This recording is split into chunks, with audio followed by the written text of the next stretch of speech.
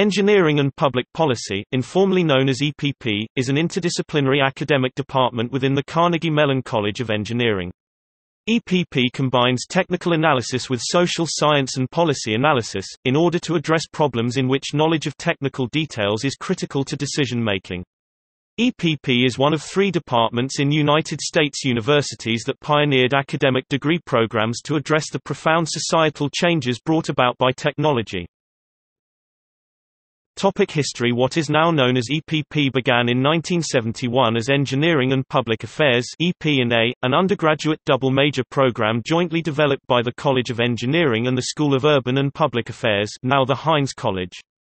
Washington University in St. Louis began offering a Master's in Technology and Human Affairs in 1971, which was discontinued in 1993. In 1976, the School of Engineering at Massachusetts Institute of Technology MIT began offering a master's degree through its Technology and Policy program. Of the several academic programs now offered in Technology and Public Policy, EPP and the Engineering Systems Division in MIT School of Engineering are the most similar. The primary purpose of the E&PA program was to train undergraduate engineering students to work at the interface of the social and engineering sciences, through use of an interdisciplinary curriculum based equally on social analysis and engineering analysis. Students received a Bachelor of Science degree from one of the traditional engineering departments plus E&PA. Planning for the program began in the spring of 1969, initiated by the late Everett M. Williams, head of the Department of Electrical Engineering. Early development and implementation of the undergraduate program began in 1970, led by faculty members Herbert Toor, then head of chemical engineering and later dean of engineering, Robert Dunlap and Gordon Lewis. Dunlap and Gordon Lewis co-directed the program, which was announced in April 1971. The Alfred P. Sloan Foundation provided support between 1971 and 1975.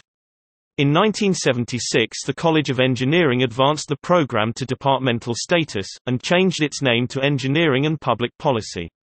The establishment of EPP was the first new accredited engineering department at Carnegie Mellon in nearly 75 years. M. Granger Morgan, who was recruited in 1974 to a joint appointment with the Department of Electrical Engineering, was appointed head of the new EPP department in 1977, and was given responsibility to coordinate the development of an EPP graduate program. Morgan stepped down as department head in 2014, and continues both his research and teaching responsibilities at CMU. Douglas C. Sicker, a professor in the Department of Computer Science at the University of Colorado at Boulder, was appointed head of EPP in August 2014. Topic education The department runs highly regarded undergraduate and graduate programs. The undergraduate level includes a double major degree program which grants a joint degree between EPP and any of the five traditional engineering departments chemical, civil, electrical and computer, mechanical, and materials science or the School of Computer Science SCS. EPP offers a minor in technology and policy for students not in engineering or SCS. The department also offers a fifth-year master's degree for students who complete an EPP major or T&P minor, as well as a master's program in Engineering and Technology Innovation Management The graduate program in Engineering and Public Policy educates technically skilled men and women at the doctoral level to be leaders in policy-focused research in which a deep understanding of technology is relevant to decision-making. As part of the PhD, students take additional courses in engineering and science, quantitative methods, social sciences and policy analysis.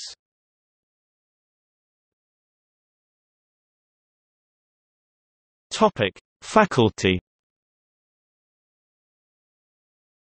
The department has approximately 40 faculty, including 50 to 50 joint appointments with all five traditional engineering departments and several social science units.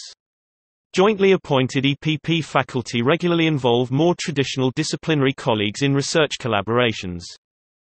Based on distinguished and continuing achievements, several EPP faculty have been elected to the United States National Academies, including M. Granger Morgan, National Academy of Science, Baruch Fischhoff and Lester Lave, Institute of Medicine, and Alfred Blumstein, Herbert Toor Emeritus, and Robert White Emeritus, National Academy of Engineering.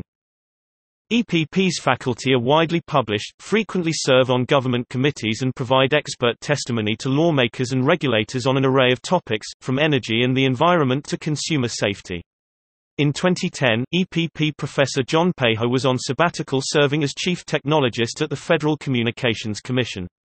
EPP professor David Farber also served as FCC chief technologist from January 2000 to June 2001.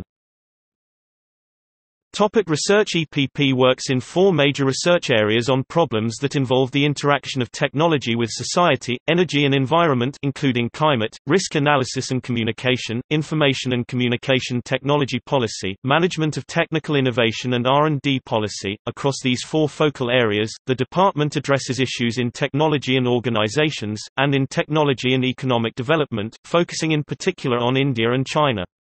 EPP also develops new software tools for the support of policy analysis and research, and studies issues in engineered systems and security. EPP has spearheaded a dozen large collaborative research efforts, including the National Science Foundation's Climate and Energy Decision-Making Center, Climate Decision-Making Center, Carnegie Mellon Electricity Industry Center, Green Design Institute, Center for the Study and Improvement of Regulation, Center for Integrated Study of the Human Dimensions of Global Change, Integrated Environmental Control Model Technology Development CCS REG project, to develop regulation for carbon capture and sequestration CCS, Renewelec, which addresses the problems of integrating variable and intermittent renewable generation into the electric power system, and CyLab Usable Privacy and Security Laboratory.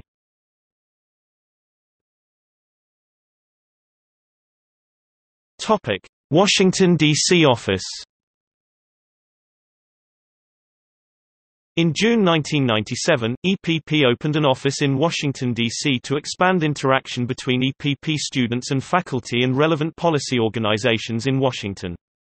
It serves as a base of operations for EPP participation in the policy-making processes of the U.S. Congress, federal agencies, and other Washington institutions. Topic selected articles and books about or mentioning EPPM Granger Morgan, Chapter 7, Technology and Policy, pp. 271–281 in Holistic Engineering, The Dawn of a New Era, Domenico Grasso and Melody Burkins ed., Springer, 2009. AAAS Guide to Graduate Education in Science, Engineering and Public Policy, http www.aaas.org spp sep slash Prachi Patel Predd, From Nerd to Wonk, IEEE Spectrum, pp 57–60, October 2007. M. Granger Morgan et al., Carnegie Mellon's Department of Engineering and Public Policy, International Journal of Technology Policy and Management, 1, 2, pp. 138–150, 2001.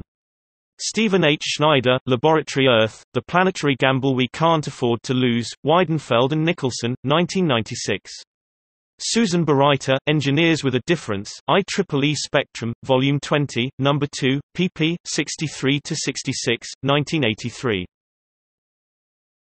Topic external links Carnegie Mellon University Department of Engineering and Public Policy Master's degree in Engineering and Technology Innovation Management EPP Faculty Research at EPP EPP Washington Office Climate and Energy Decision Making NSF Climate Decision Making Center Carnegie Mellon Electricity Industry Center Green Design Institute Center for the Study and Improvement of Regulation Center for Integrated Study of the Human Dimensions of Global Change Center for Risk Perception and Communication Integrated Environmental Control Control Model Center for Atmospheric Particle Studies CCS REG Project Renewelec Project CyLab Usable Privacy and Security Laboratory